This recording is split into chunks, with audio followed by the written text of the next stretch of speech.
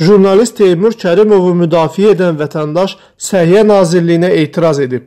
Şikayətçinin sözlərinə görə Azərbaycan səhiyyəsinin vəziyyəti ürəkaçan deyil. Xüsusən də regionlarda insanlara xidmət edə biləcək nə normal xəstəxana, nə də ki tibbi personal var.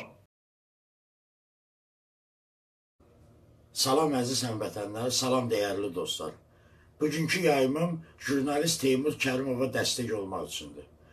Teymur Kərimov həmişə xalqın yanında olan jurnalistdir. Hər zaman haqsızlığı, qudurğanlığı, məmur özbaşınalığını daima işıqlandırıb öz kanalında. Həmişə xalqın yanında olub. Və nəhayət Səhiyyə Nazirliyində olan süründürməçiliyi, özbaşınalıq, korrupsiya bu haqda düz Səhiyyə Nazirliyinin qabağında böyük bir etiraz elədi, böyük bir isyan elədi.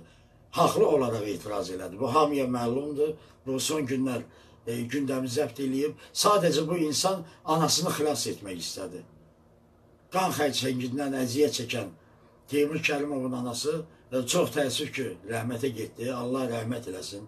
Yeri cənnət olsun. O hər birimizin anası idi. Bu sadə cavan oğlan nə etməli idi? Anasını xilas etmək üçün nə etməli idi? O əlində olan pulunu, qapıda olan danalarına kim satıb, hamısını bu həkimlərə, bu aparatlara vermişdi, anasına görə. Bunun başqa yolu var idimi? Axırda gücü çatmadı. O adam paltarını satışa çıxartdı ki, tək anasını xilas edə bilsin.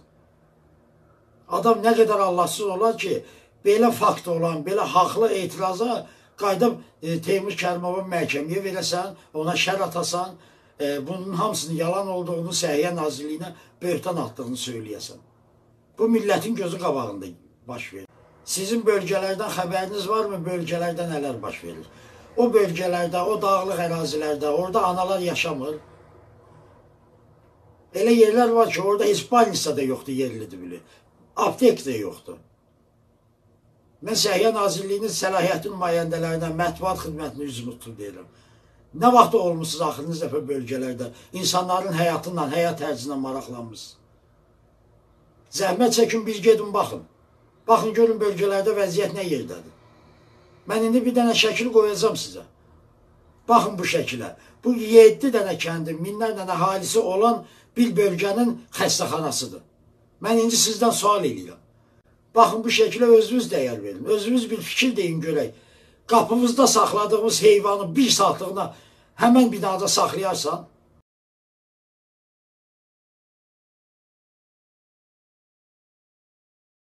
bu şəkildə gördüyün xəstəxanada 40 dənə adam kağız üzərindən dövlət büdcəsindən maaş alır.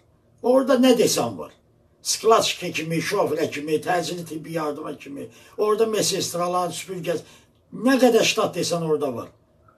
Ancaq o qapı bir dəfə açılmayıb. Baxın da orada yaxınlarınızdan kimsə xəstələnsə, aparıb orada müalicə eləyərsən. Yenə təkrar edirəm qapısında heyvanı olan, heyvanın qədrini bilən adam aparıb eşyəyini, inəyini orada saxlamaz. 10 dəqiqəliyinə.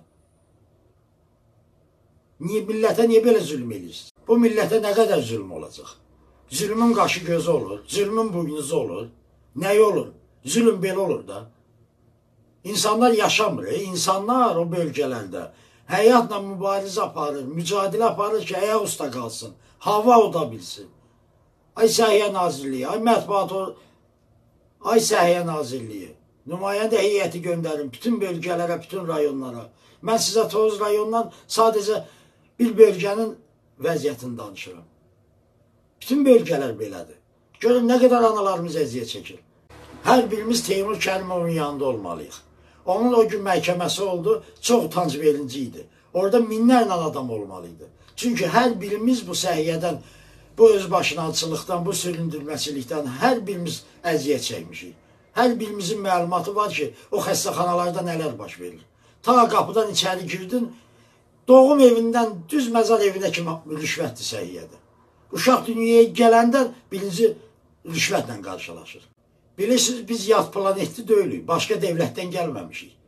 Biz bu ölkənin içindəyik, gözümüz görür burada nələr baş verir.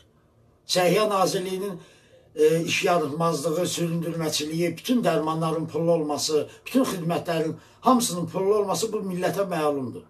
Bunu necə təkzib edə bilərsiniz? Dövlət nə qədər vəsait ayırıb regionlara, səhiyyə ilə bağlı. Bu Səhiyyə Nazirliyi pulu hara xərcləyib, necə xərcləyib ki?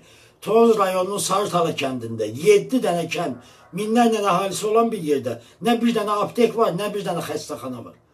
O xəstəxananı da sizə göstərdim. Buyurun baxın. Heç heyvan saxlamaq orada layiq deyil. Yazıqdır o Allahın heyvanı.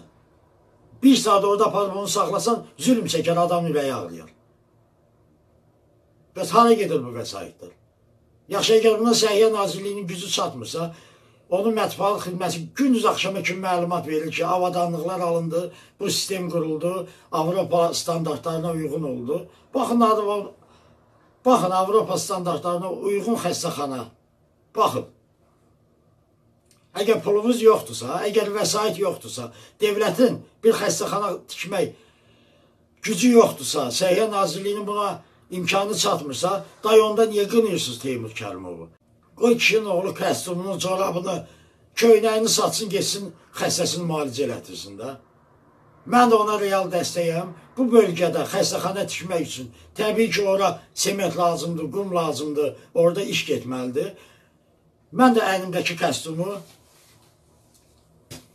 telefonumu, saatımı, corabımı, nəyim var, hamısını göndərəcəm. Yenə baxmayın, 5 kisə simint olar, nə bilim bir 3-4 lapatka qum olar. Oradakı rayondakı bölgədəki dostlara da deyirəm, kimin gücü nəyə çatır? Biri ayaqqabısını verər, biri köynəyini verər. Hələ iki kisə sement olsa, o kəndin xəstəxana problemi həll olar. Mütləq bunları mən göndərəcəm ora.